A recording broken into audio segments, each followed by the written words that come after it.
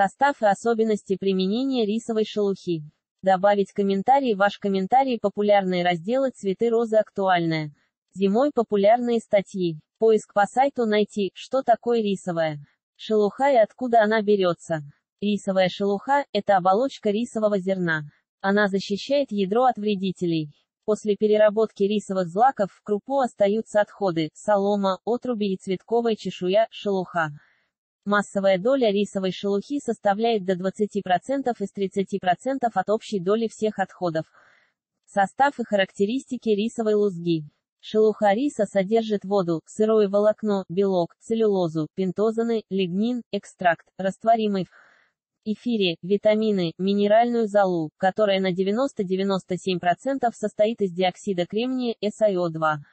Основные характеристики рисовой шелухи тяжело воспламеняется и не горит, если не продувается воздухом, устойчиво к воздействию.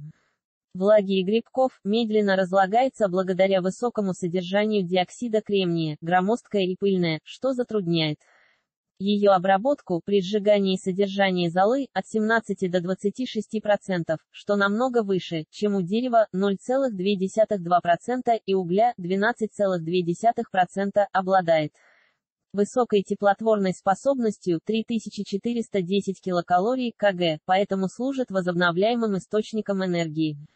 Области применения продуктов переработки рисовой шелухи. Существуют разнообразные методы использования рисовой шелухи. Например, в магазинах встречаются топливные брикеты для мангалов, грилей, барбекю, отопительных котлов, каминов и дровяных печей. Такое твердое топливо создается на основе рисовой шелухи, обладает хорошей теплоотдачей и низкой зольностью. Утилизированная рисовая лузга применяется в области земледелия в качестве удобрения, в металлургии в роли теплоизолирующей. Засыпки, в топливной промышленности как материал для достижения высоких уровней выгорания, в химической промышленности.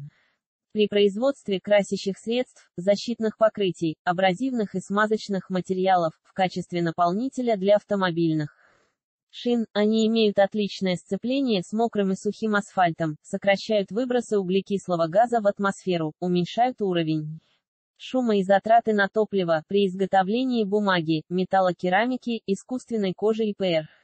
Как сорбент для очистки воды от нефтяных и масляных загрязнений при изготовлении тепло- и шумоизоляционных материалов.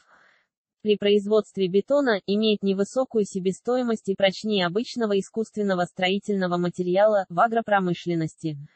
Шелуха, прошедшая обработку высокой температурой и давлением, позволяет заменить привычный грунт и многократно используется для посева одной культуры. Из рисовой шелухи получают кремний в чистом виде, который используется в современных технологиях. Это гораздо дешевле, чем его извлечение из других источников с более затратными методами обработки. В дальнейшей перспективе возможно применение полученного сырья в парфюмерной, металлургической, фармацевтической и электронной промышленностях. Рисовая шелуха может применяться при производстве строительных материалов, блоков, плит. Ее использование в топливной отрасли позволит сократить выбросы в окружающую среду и внедрить в оборот возобновляемые источники энергии. Использование на огороде в качестве удобрения некоторые дачники используют рисовую шелуху для увеличения урожая на своем земельном участке, добавляют ее в компост, что поддерживает оптимальный уровень влажности органического удобрения. Вносят в тяжелую глинистую почву за счет того, что она долго перегнивает. Земля разрыхляется сразу и на долгое время. Если делать это регулярно, то почва со временем станет более структурированной, мягкой и плодородной. Сжигают шелуху, чтобы получить золу, богатую калием. Ее используют для повышения плодородности почвы и для питания растений. Применяют при посадке овощей, гороха, томатов, баклажанов, капусты, картофеля, перцев и пр.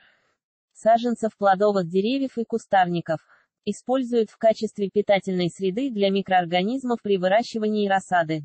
В таком грунте хорошо укрепляются корнями побеги плодовых и ягодных культур. Используют для тепличного культивирования растений, грибов, удобрения цветов. Рассыпают рисовую шелуху плотным слоем в 15 см по поверхности земельного участка до посадки растений и поджигают. Сделать это непросто, так как шелуха тяжело воспламеняется. Образовавшийся пепел заделывают в верхние слои почвы с помощью лопаты или граблей. Для получения максимального эффекта от рисовой цветковой чешуи не стоит смешивать ее с другими органическими или минеральными удобрениями. Рисовая шелуха как мульча без мульчи сложно вырастить достойный урожай. Растения тяжело переносят нехватку влаги, почва быстро пересыхает, а на поверхности образуется плотная корка. Мульча из рисовой лузги решает такие задачи улучшает химический состав почвы, защищает от сорняков и слизней, предотвращает потерю влаги, сокращает количество поливов, убирает излишки азота, сохраняет полезные свойства в грунте в течение 3-5 лет, сокращает накопление солей в почве. Шелуха риса служит мульчей долгое время, так как сорняки сквозь нее не могут пробиться, а вредители не добираются до корней на зимовку. Она распределяется по поверхности земли равномерным слоем. Заключение с пользой для человечества применяют не только рисовое зерно, но и переработанную цветковую чешую. Огородники используют шелуху в качестве удобрения и мульчи для улучшения структуры почвы, защиты от эрозии и потери влаги.